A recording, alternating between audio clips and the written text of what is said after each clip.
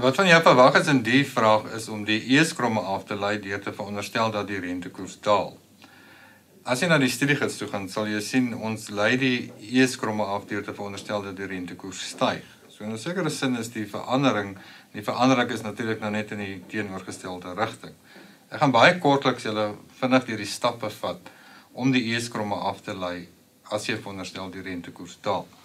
Ons eerste gebeurtenis as die rentekoers daal, dan styg investeringsbesteding. Nou as ons dit gaan voorstel op 'n diagram dan met rentekoerse hier investering. En ons weet daar's 'n negatiewe verwantskap tussen die rentekoers en investering. Veronderstel die rentekoers daal van 10% na 8%. Dan het ons 'n toename in investeringsbesteding sy van 100 tot 150. Dan was dit 'n toename van 50.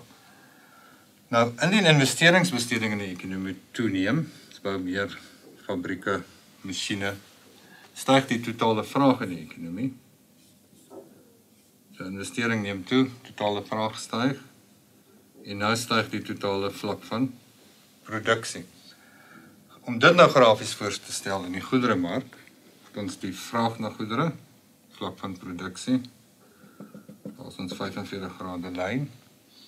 Hierdie is ons vraagfunksie teen 'n rentekoers van 10%.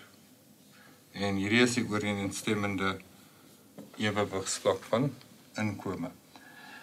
Die daling in die rentekoers wat die toename in investering van 50 veroorsaak, stel ons voor as 'n opwaartse verskywing van die vraag na goedere kromme. So dis die vraag na goedere teen 8%. Hierdie verskywing is 50. En ons het 'n ooreenstemmende ewewigsvlak van inkome. As ons hierdie inligting gebruik om die eeskromme af te lei, dan doen ons dit as volg. Hier is ons rentekoers, vlak van produksie. Net op die veranderlik is dieselfde vir hierdie twee asse, dis hoekom hulle onder mekaar lê. Nou weet ons dat teen 'n rentekoers van 10% is die ewewigsvlak van inkome inkome 1. So dit gee ons hierdie punt. Teen 'n rentekoers van 8% is ons inkome vlak inkome 2. So dit gee ons hierdie punt.